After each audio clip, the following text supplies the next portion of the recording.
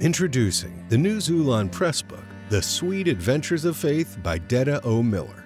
How big would you dream if you knew that you could not fail? Moreover, would you ever draw back if you knew that victory was inevitable? With the use of 10 personal faith based testimonials, the author celebrates and boasts of the faithfulness of God as he watches over his word to perform it in every aspect of her life. Since he is no respecter of persons, he wants to also perform his word in your life, marriage, finances, etc. After all, they that trust in him will never be disappointed, confounded, or ashamed. Psalm 22 5. The Sweet Adventures of Faith is available at Christian bookstores and online. Purchase it today.